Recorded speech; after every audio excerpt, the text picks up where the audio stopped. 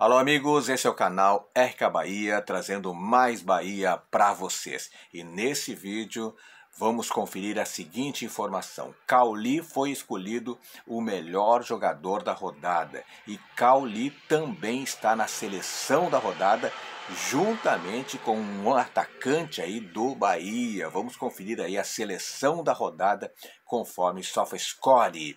E a CBF detalhou aí as próximas rodadas do Bahia. Você vai saber os próximos jogos do Bahia neste vídeo também.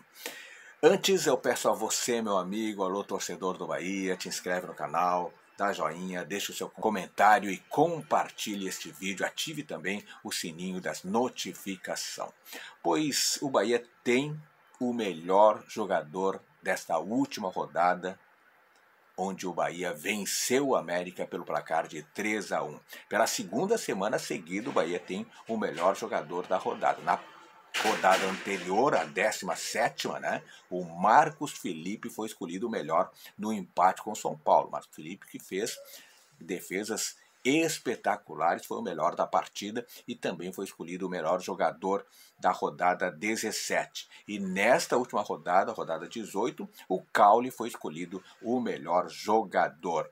Bahia, portanto, tem mais uma vez aí o melhor jogador da rodada agora no setor de meio-campo, colaborando aí com o sistema ofensivo do Bahia. Meia Caule que fez um gol e deu uma assistência contra na partida contra o América Mineiro.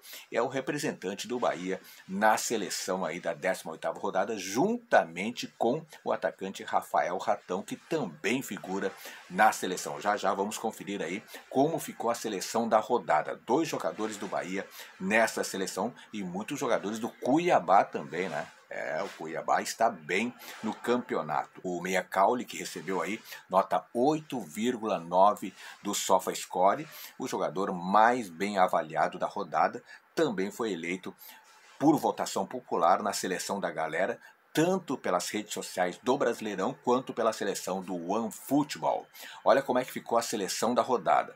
Tadeu do Goiás, o goleiro, Matheus Alexandre do Cuiabá, lateral direito, a dupla de zaga Adrielson do Botafogo e Alain Empereiro do Cuiabá. Fábio Santos do Corinthians, lateral esquerdo, e o meio de campo ficou assim, ó: Sobral do Cuiabá, Matheus Pereira do Cruzeiro, John John do Palmeiras e o Cauli do Bahia. E no ataque, o Rafael Ratão, também do Bahia, e o Daverson do Cuiabá. Rafael Ratão também, portanto, está na seleção da rodada, né? Ele que foi novidade na escalação, ele que começou como titular do Renato Paiva, fez um gol nos 3 a 1 sobre o América Mineiro, fez o terceiro gol, aliás, assistência do Cauli. E com esse triunfo, o Bahia deu fim aí a oito jogos sem vencer e 45 dias sem comemorar um triunfo. Em entrevista aí pós-jogo, né, o Rafael Ratão, o novo titular do time de Renato Paiva, pensou que estava impedido e vibrou aí com a confirmação. Ele estava realmente em posição legal no lance verificado aí pelo VAR, inclusive. Espero que seja o primeiro de muitos, disse o atacante do Bahia. E Ratão confia na reação do Bahia. Os novos jogadores deram um ambiente mais leve para o time e a partir de agora o Bahia é um novo time. Tomara que tenha essa sensação de que o Bahia caminha para novos tempos, novas esperanças também. Rafael Ratão que deverá ser titular contra o Atlético Mineiro domingo no Mineirão, o jogo às 11 horas da manhã. Falando em jogos, próximas rodadas aí, né? A CBF detalhou a tabela do Campeonato Brasileiro. Portanto, domingo agora, dia 13, às 11 horas, tem Atlético Mineiro e Bahia. O jogo vai ser em Minas Gerais, no Mineirão. E domingo, o outro domingo, portanto, o Renato Paiva tem uma semana inteira novamente para trabalhar. No dia 20, domingo, às 16 horas, o Bahia recebe o Bragantino na Arena Fonte Nova. Depois, mais uma semana depois, dia 27, tem o Botafogo. Aí sim, uma parada duríssima aí. Às 16 horas, o jogo vai ser lá no Rio de Janeiro, no estádio Newton Santos.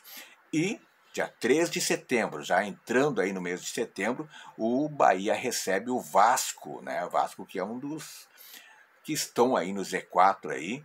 O Vasco que inclusive ganhou do Grêmio na última rodada, né, por 1 a 0.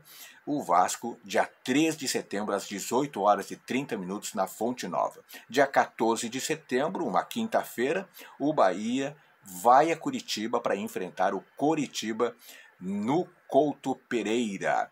E depois, dia 18 de setembro, o Bahia recebe o Santos na Arena Fonte Nova. É uma segunda-feira, o jogo vai ser às 20 horas. Bahia que está na 16 posição, com 18 pontos. Aliás, o mesmo número de pontos do Santos, que é o primeiro time na zona do rebaixamento. Portanto, o Bahia não está tranquilíssimo, como diz o Renato Paiva. Né? O Bahia ainda está sob risco porque tem a mesma pontuação do Santos e se o Santos e o Bahia vencerem na próxima rodada, dependendo aí do número de gols, pode o Bahia cair, porque o Bahia se salva no saldo de gols. As primeiras informações do Bahia aqui no canal RK Bahia para você. Se gostou do vídeo, dá joinha, dá joinha que sempre apoia o canal. E o mais importante, meu amigo, alô torcedor do Esquadrão de Aço, te inscreve no canal. Te inscreve no canal porque aqui no canal RK Bahia, você sabe tudo sobre o Bahia. Muito obrigado, beijo no coração e fique com Deus.